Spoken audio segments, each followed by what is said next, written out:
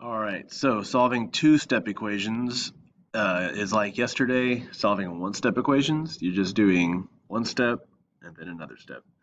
Uh, this uh, assignment has 10 problems, but I'm going to do the first two as notes, and then you're going to do numbers 3 through 10, okay? So let's look at number one. If I'm solving this, I see I have a variable n, okay, over on the right side, and there are two things I need to get rid of, a 4 and a minus 5 right? Here's the deal. You got to know what to get rid of first, and I always get rid of what I call the loner. Okay, the loner is not 4. 4 and n are buddies. They're right next to each other. But out here, by itself, we have the loner, negative 5. So what I'm going to do is first get rid of the loner, the minus 5. What's the opposite of minus 5? Plus 5. So I put plus 5 here.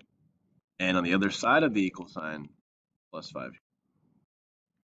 Okay, not underneath 4n. Okay, so the minus 5 and plus 5 cancel out.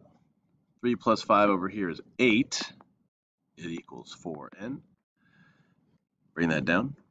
And then your last step, so now you've done one step, it's time to do your second step to get rid of that 4 in front of n. Remember 4 and n, that's a coefficient. That means there's a dot there, that means they're being multiplied you got to think what's the opposite of multiplying?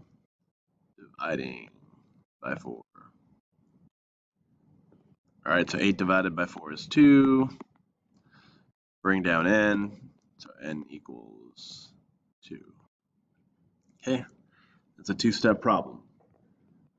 Let's do it on number 2, same idea. We want to get rid of the loner first. The loner is minus 7, right? Because it's 2 and n are a coefficient. Those are together, but the minus 7 is alone. So to get rid of that loner minus 7, we do the opposite.